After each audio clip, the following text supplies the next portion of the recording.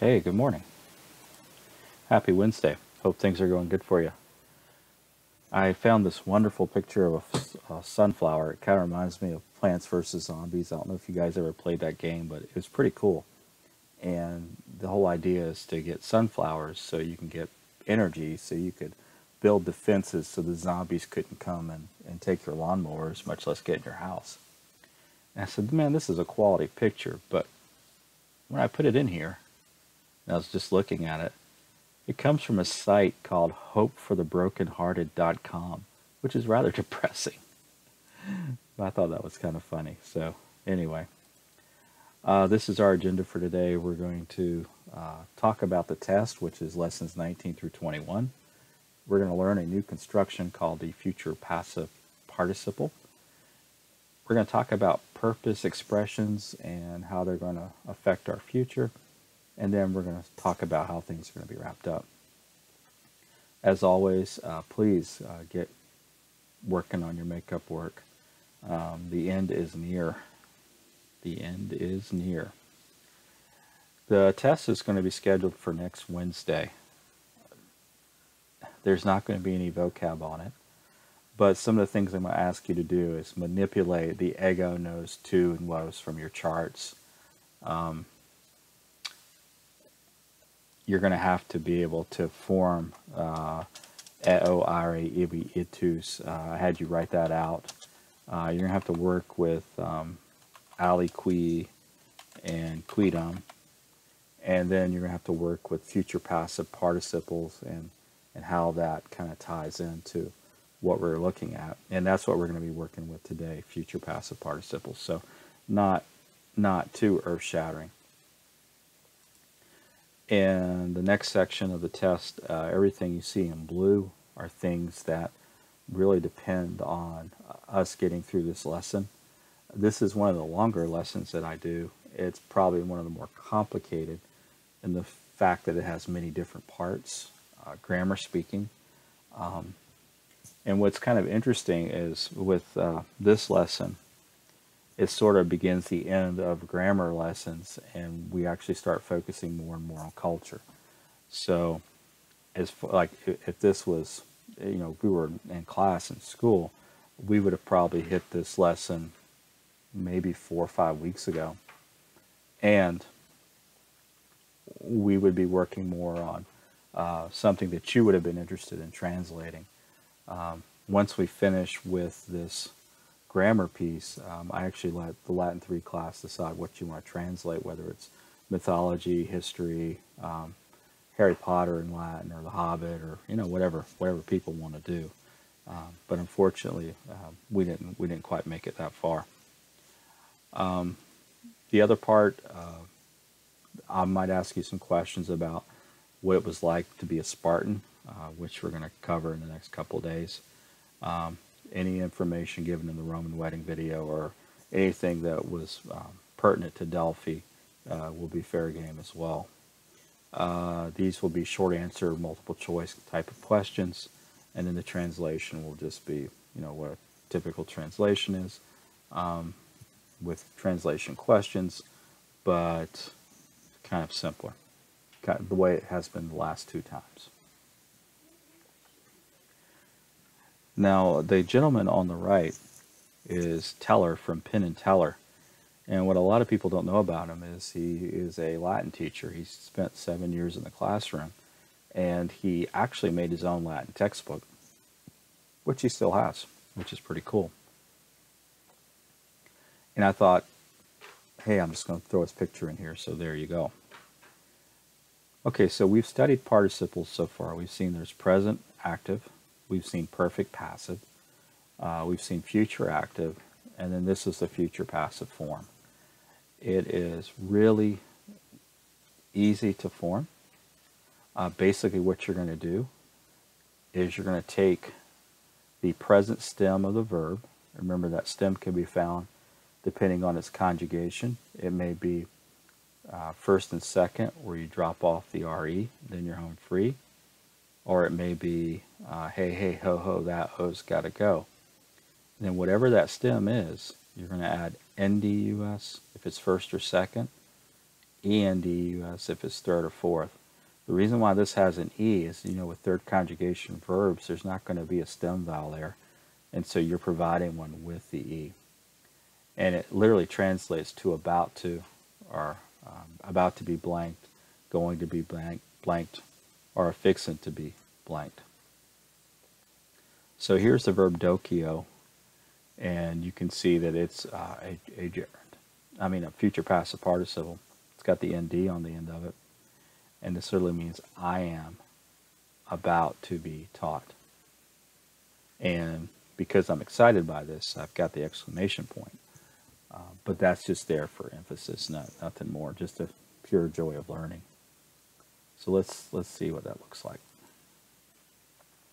Here we have Lego, and what I want you to do is to form this into a future passive participle. And remember, to do that, you got to figure out what the conjugation is, and then you got to find the base. So here are my conjugations. That ERE under second is supposed to have a hat.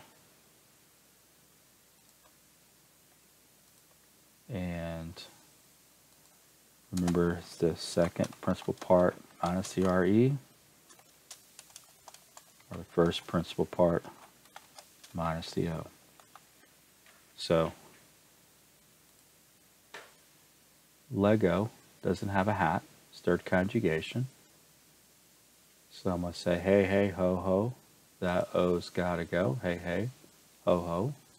That O's got to go. So I've got leg. Man, that's really big. and then I, I add E-N-D-U-S because that is what is required.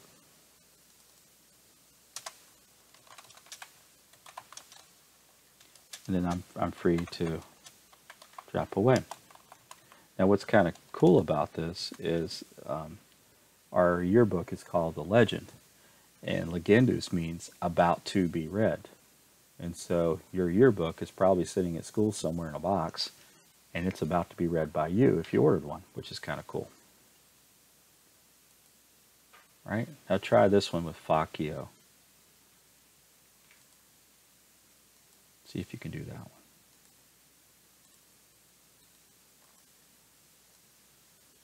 Okay, so I look here and I say, okay, this is definitely third conjugation because there's no hat over the the E. So I, I go first principal part minus O.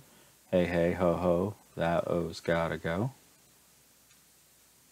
And so I have F-A-C-I, and I add the E-N-D-U-S. So the I stays because it's part of the base. And that literally means about to be made, which is really neat.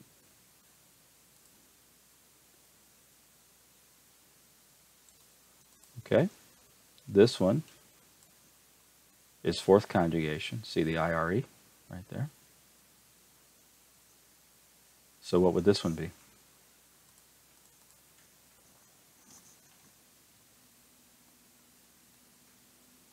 Okay, if you dropped off the O, you're stuck with an Audi, which is kind of like a car.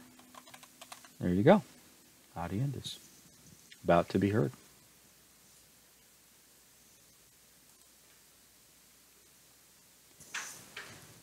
Now, this pair, I mean, this uh, this future passive participle, you know, is used as a participle in sentences and because it ends with a US, it can be declined in first or second declension. You know, the oos, ah, boom pattern that you've seen uh, since the beginning of the class. Well, the reason why future passive participles are important is because they're used for something called a periphrastic. It's probably one of the best known constructions in uh, Latin. A lot of people can't say periphrastic, so try saying it. It's like fantastic or elastic, but it's a periphrastic. Um, see if you can say periphrastic. Periphrastic. It's always funny trying to hear people say that word. What does periphrastic mean? It means that the verb of the sentence shows obligation or necessity. Now, what does that sound like in English? Um, well, normally when we're showing that kind of thing, we'll use the imperative mood like take out the trash. But a paraphrastic would flip it and say the trash must be taken out. That would be a, a use of necessity. So um, when I see it in a sentence, I'll see that it's located toward the end of the sentence. You see that ND right there? That's going to be the clue. And if it's a paraphrastic, it's going to have to have a form of sum. This is the old participle sum corporation, except now this is kind of a brand new field uh, they're going into, uh, which is the paraphrastic field. So pecunia uh, is the word for money. See how the A on the end there? That's your subject, it's nominative. The money, and then translate this, must be seen. And then you have this weird dative here floating around, mihi. This is called dative of agent. A dative of agent basically establishes who must perform the obligation or necessity. It's kind of like uh, an ablative of a personal agent, except this one's in the dative. And it's only used with paraphrastics, so you're not going to see it floating around in a sea of murkiness. So the money must be seen by me. And uh, I don't know if you remember Jerry Maguire, but that's in a movie with Tom Cruise, and throughout the movie, it, they kept saying "Show me the money," uh, which is kind of, kind of, I guess, funny. Okay, so here's another example, and I don't know if you can read what the the picture is. It's a poet Robert Frost, who was famous in the uh, mid 20th century he says half the world is composed of people who have something to say and can't, and the other half who have nothing to say and keep on saying it, which might be how you feel about this lecture by now. Uh, it's definitely one of the longer lectures for sure. Um, once more, I'm looking at the ND here. I see it's next to the sum. So I'm thinking paraphrastic. I have the story, fabula, must be told. And then I have this poetae here. Now this poetae could be genitive, it could be dative. It's like the story of the poet must be told, or the story must be told by the poet. And either use would be correct. This could be a genitive possession, or it could be uh, a dative of agent. Either one would work. Um, I'm thinking more dative of agent just because there's a paraphrastic next to it, and they usually come together but you would not be wrong thinking either way about that.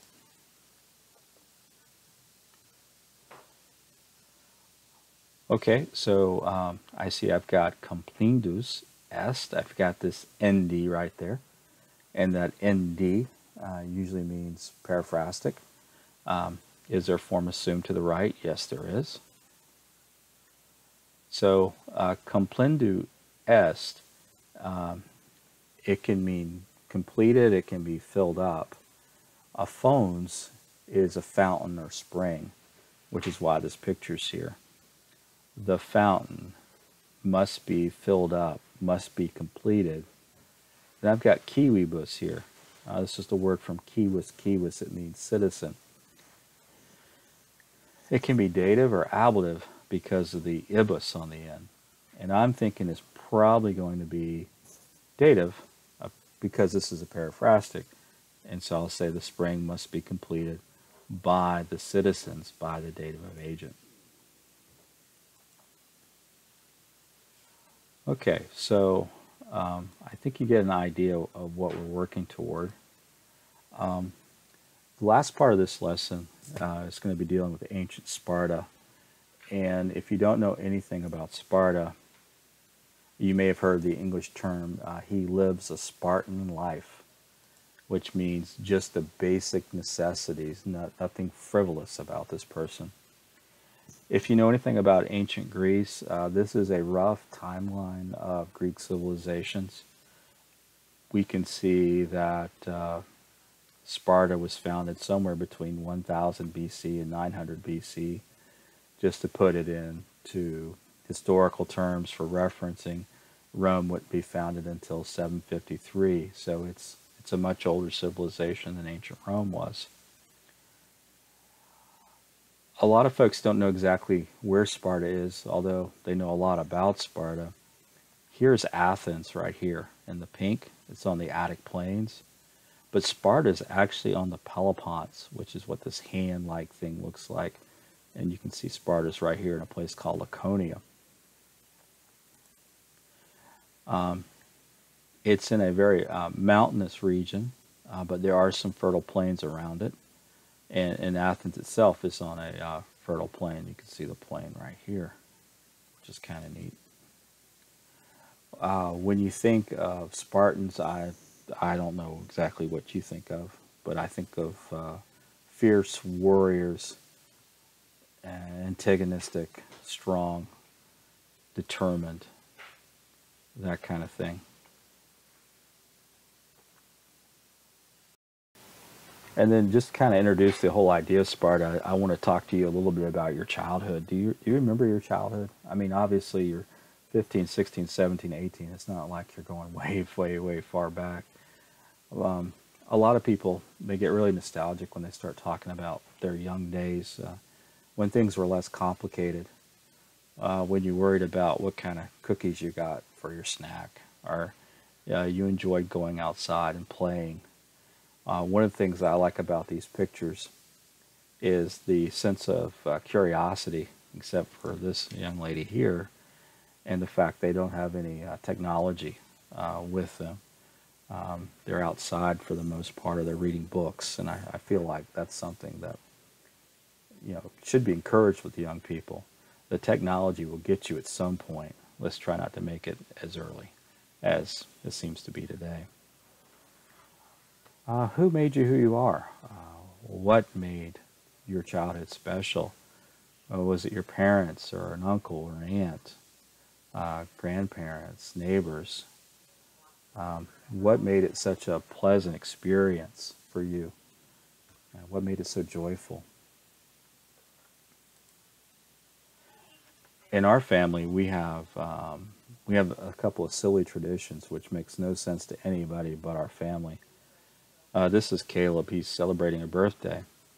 And uh, in our family, we have a, uh, family party, which is just us. And, and then we have um, the big family party where cousins and aunts and uncles and grandparents will come over and celebrate. At the family party, we don't do birthday cakes, we do sponge cakes. And so this is actually a sponge from Publix where shopping is a pleasure with candles on it and you wouldn't want to eat that, but you could clean with it afterwards, I suppose. Uh, that's just a silly thing that we do, um, and and and that is a tradition, and and we still do it to this day. Um, awkward photos. Uh, this is Caleb leading a karate class. He didn't know I took the picture, and this is Benji using a camera doing a selfie, and then here we are at the angel oak tree.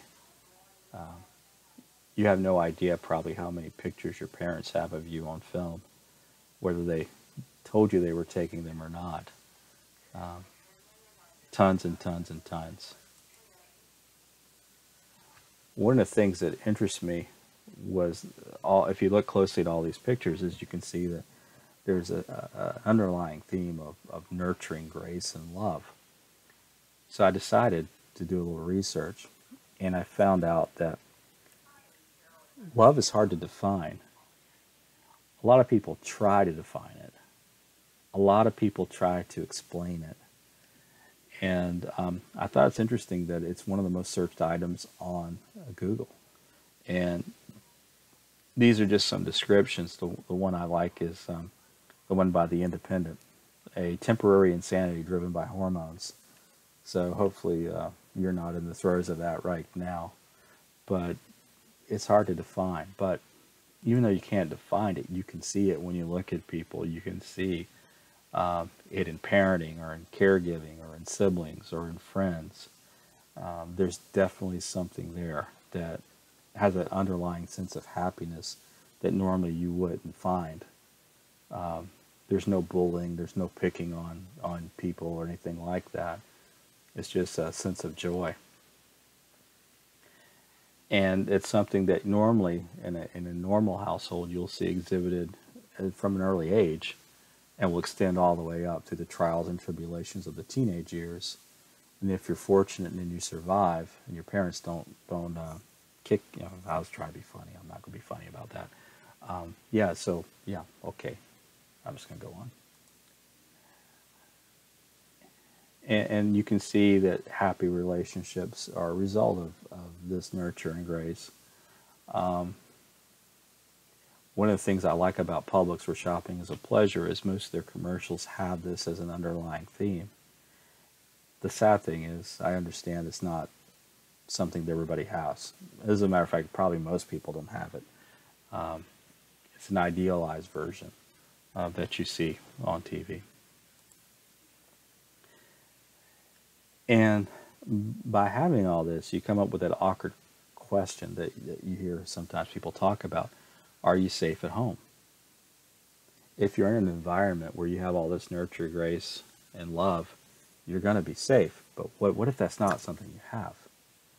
What if you have something totally different? Do you feel safe at home? And if you don't feel safe at home, this would be a good time to talk to a counselor or a teacher or get help. Don't don't put yourself in a situation where you can't be successful or where you live in fear. Life is too short for that. And you may say, okay, Wagner, what's all this got to do with life? Well, it has to do with how people were raised in Sparta. Sparta is a totally different animal. Uh, all these things we're talking about didn't happen with Sparta. Um, Sparta was totally different. Um, they basically were a military society, and and they believed that fighting for your country and dying for your country is the ultimate goal. This was the uh, mound raised at Thermopylae, where the 300 Spartans lay buried, and there's a plaque that says, "Go tell the Spartans, passerby, people just coming by the monument, monument, they hear obedient to their laws we lie, meaning we fulfilled what Spartan soldiers are supposed to do, supposed to die in battle for honor and glory. Their theme was come back with your shield or on it, which is pretty harsh. This is a painting of, of Sparta. Um, it's uh, sensationalized. It's, it's Renaissance. This is the remains. There aren't a whole lot. Uh, Sparta was eventually abandoned um, around the turn of the millennial, uh, going from BC to AD. Um, you can see some of the ruins, but you know Spartan life means that there's not going to be a lot of artistic statues or anything like that. There's just going to be the buildings themselves, and you can see the rugged terrain that's behind it right here, which is pretty neat. Uh, this is a nice overhead view of, of, of what it probably uh, looked like under its greatest extent. And that takes us to the reading, which is where we're going to stop for today. Okay, so I spent probably a lot longer teaching you this than I wanted to, which is okay. So your assignment for today is going to be to uh, make a Google Doc not doc. Inside the Google Doc, you're going to say Sparta. And that's it. And then you're going to send that to me. Or actually, just, just write the word Sparta in an email and send it to me, and you'll get credit for today's lesson. Fair enough? And we'll call this uh, in the grade book uh, Sparta, I guess. All right, kids. Uh, thank you for watching. Thank you for listening. If you like the channel, make sure you uh, leave a good comment and subscribe. And I'll see you tomorrow on Thursday. Have a good day.